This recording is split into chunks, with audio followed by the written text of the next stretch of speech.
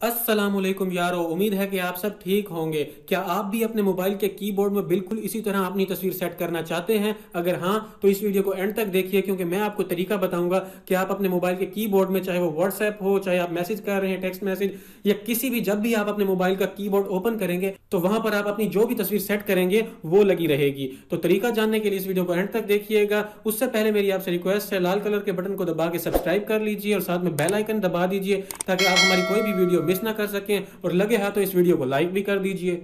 तो जब भी आप किसी को टेक्स्ट मैसेज करते हैं या व्हाट्सएप पर मैसेज करते हैं तो आपका कीबोर्ड इस तरह से होता है। अगर आप चाहते हैं कि आपके कीबोर्ड में आपकी तस्वीर लगी रहे या फिर आप अपनी मर्ज़ी से कोई वॉलपेपर सेट करना चाहते हैं तो उसके लिए आपको जाना है अपने मोबाइल की सेटिंग्स में। सेटिंग्स में जाने के बाद आपने करना है स्क्रॉल डाउन स्क्रॉल डाउन करने के बाद यहाँ आपको एक ऑप्शन नज़र आ रहा होगा इनपुट्स एंड लैंग्वेजेस अगर आपको यहाँ सामने ऑप्शन नहीं मिल रहा तो आपने सिस्टम का ऑप्शन ढूंढ लेना है। सिस्टम के ऑप्शन में जाने के बाद यहाँ आपको नज़र आ रहा है लैंग्वेजेस एंड इनपुट इस पर टैप कर दीजिए। इस पर टैप करने के बाद यहाँ सेकेंड नंबर पर लिखा हुआ है वर्चुअल कीबोर्ड इस पर टैप कीजिए और यहाँ आपने चले जाना है जी बोर्ड पहले नंबर पर ऑप्शन है, इसमें।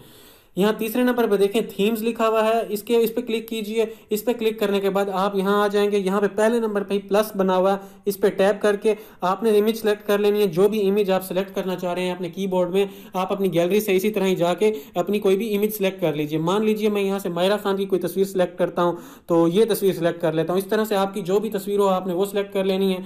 सेलेक्ट करने के बाद आपने फ्रेम के अंदर इसको सेट करना है अपने हिसाब से। मैं इधर रख लेता हूँ, उसको कर देना है नेक्स्ट नेक्स्ट करने के बाद यहाँ से आपसे पूछेगा कि आपने इसकी ब्राइटनेस कितनी रखनी है।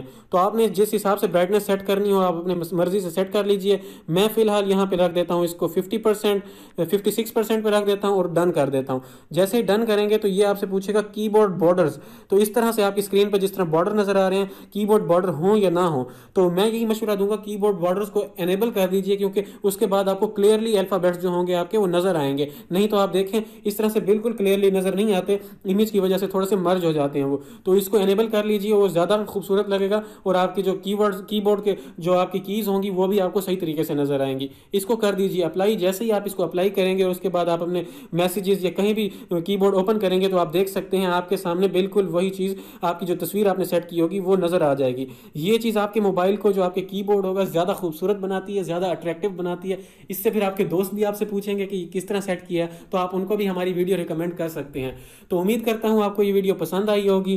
अगर आपको ये वीडियो पसंद आई है तो प्लीज़ इस वीडियो को लाइक कीजिए, अपने दोस्तों के साथ शेयर कीजिए और कमेंट सेक्शन में कमेंट करके अपना फीडबैक दीजिए। अभी तक लाल कलर के बटन को दबाकर सब्सक्राइब नहीं किया आपने तो प्लीज़ सब्सक्राइब कर लीजिए और साथ में घंटी के बटन को ज़रूर दबाइएगा ताकि मैं इस तरह की जो जो अमेजिंग वीडियोस बनाऊँगा, आप तक वो पहुँच जाएँगी। इसी अपनेपन के साथ अपना बहुत सारा ख्याल रखिएगा। अल्लाह हाफिज़।